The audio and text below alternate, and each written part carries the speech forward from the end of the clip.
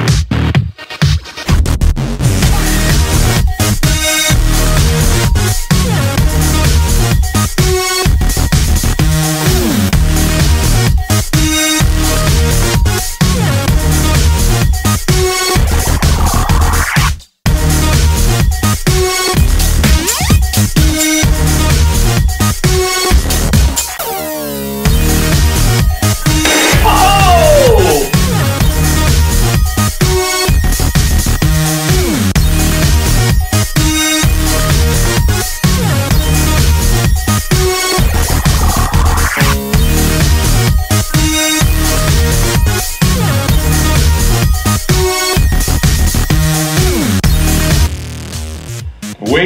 down and from side to side so that everyone can see that it's just an ordinary bandana.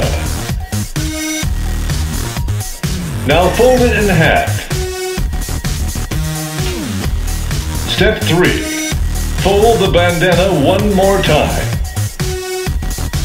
Inside the hat, so we tell you to come out. So our bunny you stay inside the hat, please? Rabbit's got to stay in there, that's important.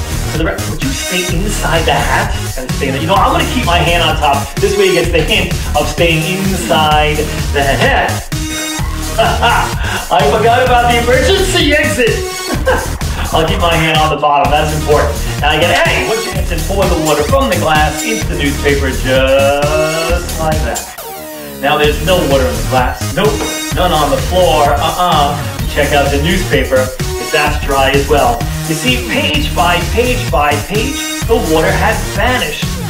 Now, this is real important because people always ask me, they say, well, what would happen if you return the newspaper upside down? Well, that's what I got to thinking. So I snapped my fingers and gave it a turn, but nothing happened.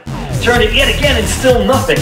Then I got a little thirsty. I wanted back my drink. I headed back over to page five, the weather.